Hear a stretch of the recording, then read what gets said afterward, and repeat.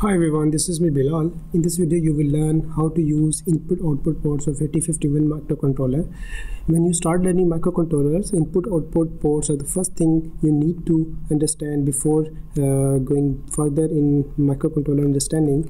8051 microcontroller have four ports and I have explained all the things in this article and from starting from port 0, port 1, port 2 and port 3 and these port uh, these four ports have eight pins what I mean uh, each port has eight pins. So uh, all these eight pins can be used as input and output. You just need to configure the uh, built-in register of uh, this microcontroller to use any pin of any port as an input or output.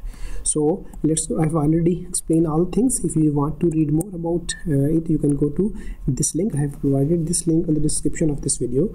I have written a code of 8051 microcontroller where I'm using port 2 uh, first four pins as a, output as a LED I have given them name LED 1 LED 2 and LED 3 and LED 4 and uh, port 3 first four pins as a button.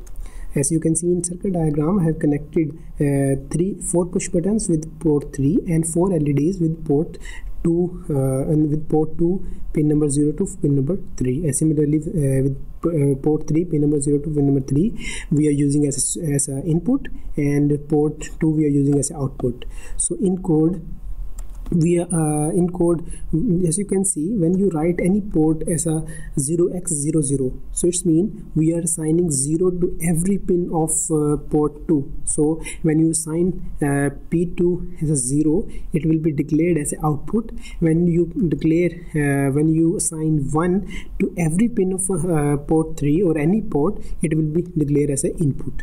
So what we are doing here we are uh, we have given the name of we have given a name to every pin of port 3 and port uh, and port 2 so when we uh, when the when the switch is on led 1 will be on. Led 1 on means port pin number 0 of port 2 will be on.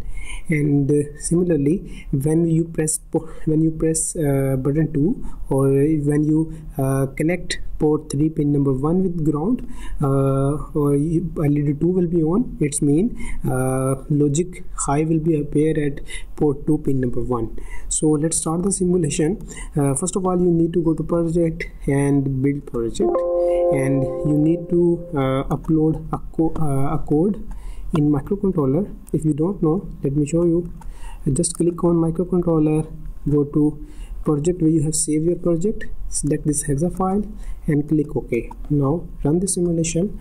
As you can see nothing is happening when i press uh, button number one which is uh, pin number 0 port 3 led 1 will be on. So similarly when i press uh, uh button number 2 led 2 will be on. And similarly when i press 3 led 3 will be on.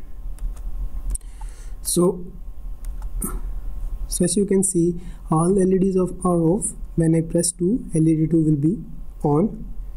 When I press 1 LED 1 will be on. So this is all about how to use input output ports of 8051 microcontroller. 8051 input input output ports have many applications like LED matrix, uh, 7 segment displays. In in my upcoming tutorials, I will also write about LCD interfacing and uh, keypad interfacing. So input output ports will also use in these uh, interfacing circuits. Thanks for